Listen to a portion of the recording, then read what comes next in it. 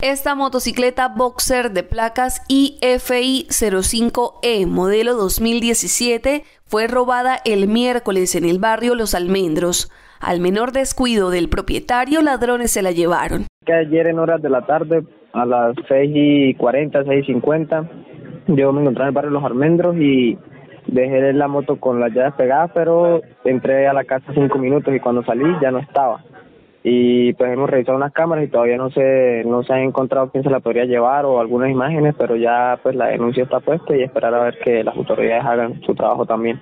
Aunque reconoce que le dio la oportunidad al ladrón para salirse con la suya, asegura que nada justifica la comisión del delito. Es una Boxer verde con placas IF05E. Claro, ya hay una afectación grande también porque esa moto también la, la utilizaba mi hermano para ir al colegio y eso, pues entonces ahora no queda incomunicado para esos temas y Ya interpuso la denuncia y ahora espera que las autoridades hagan su trabajo. Agradece a la comunidad la colaboración para poder recuperar el vehículo comunicándose al 321-598-2701.